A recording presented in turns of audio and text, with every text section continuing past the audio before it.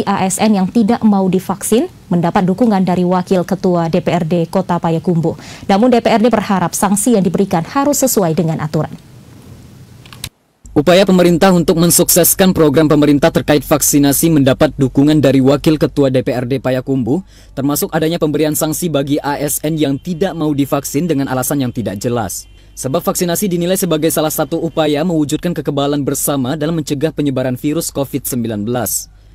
Dukungan terhadap Pemko Payakumbuh dalam memberikan sanksi tersebut diungkapkan Wakil Ketua DPRD Payakumbuh, Armen Faindal.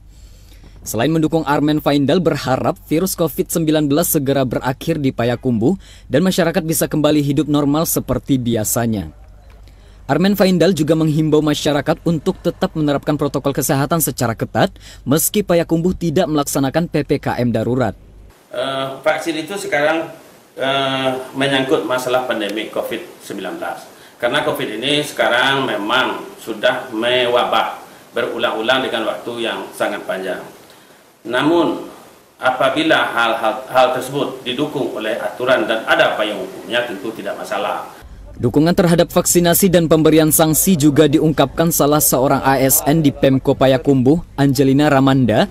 Menurutnya vaksinasi harus dilakukan dengan kesadaran sendiri. Sebab vaksinasi adalah untuk melindungi diri dan keluarga serta masyarakat.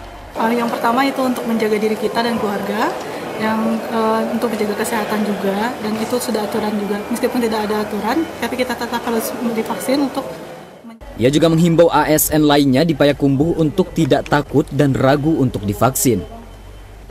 Sebab setelah dua kali divaksin, Angelina tidak mengalami hal apa pun pasca vaksinasi. Dari kota Payakumbuh, Edward TVRI Sumatera Barat.